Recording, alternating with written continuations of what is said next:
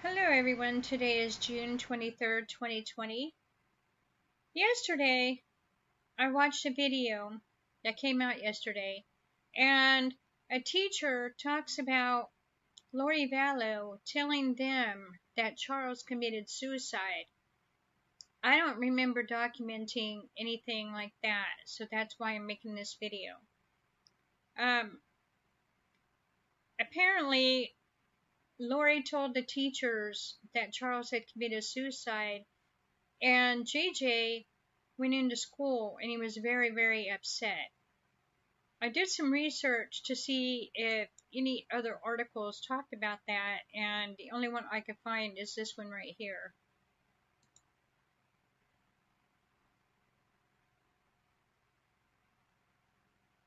Mid-July on the 11th, Charles Vallow was shot and killed by Lori's brother Alex, but the school wouldn't find out about his death until a week later, when Lori told them Charles had committed suicide. Life did their own research and learned Charles was killed as part of a family dispute, and so the school filed a report with Arizona's Department of Child Safety. So I didn't know about this. I didn't document it. Um, and I'm documenting it today. But I want to know what your comments are about why Lori told the school that Charles committed suicide. I mean, the police had cameras, and it's all over the place that Alex killed Charles. And Alex said it was self defense, even though he turned his back, went and got a gun, then came back and shot him. Um, I watched a video of a psychic that said that that uh, Alex was waiting for Charles to come in. Now I don't believe in psychics. I don't believe in that stuff, but something led me to watch her video. I wanted to see what she had to say about Charles. And she said that Alex was waiting for him to come in and then she said that she heard a boom and she thought it was Tylee that had been shot, but it was actually Charles that had been shot. So that is something else, you know, that I just want to put out there. Uh, I think her name's Donna something. Anyway, um, I don't believe in psychics, but she did say that he had been shot and that Alex was waiting for him. But in any event, Alex said that he went and got the gun and then came back and shot him. So there are so many things, so many different opinions out there, and so many different uh, comments. Uh, people saying that this happened or that happened and that happened. Nobody will really know. But in this video here, I'm going to show you just a short clip of it where the teacher says that Lori said Charles committed suicide. And I'm wondering if Lori said that so that the children wouldn't be afraid of Alex. Because if they found out that Alex shot Charles, they may be afraid and not want to go to Yellowstone with him.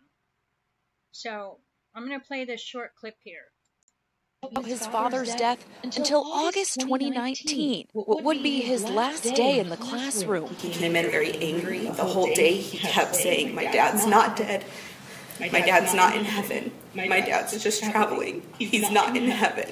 School staff says Lori told them Charles died by suicide and learned on the internet that he'd actually been shot. And that's not the only lie the teachers say Lori told them. When she pulled JJ out of school at the end of August, she said she took a new job and was moving the family to California. We know now she moved JJ and his older sister Tylee Ryan to Rexburg, Idaho, where they were found dead in their stepfather's backyard earlier this month.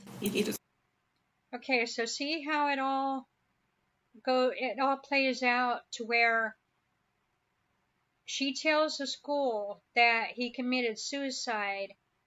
They later find out he was killed by a family member. And then they have to file a report on that. And then she moves, she takes JJ out of school. She moves him to another state And then later on, they are found dead in her new husband's backyard.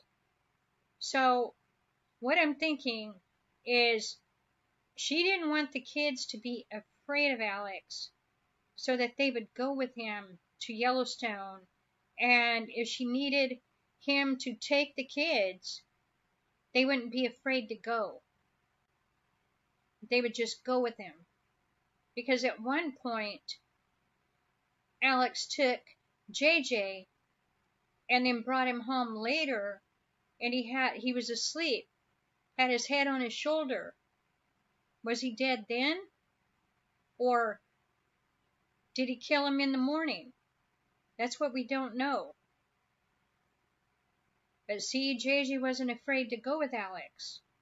Let me know what you think in the comments. Thank you for clicking in. Have a wonderful night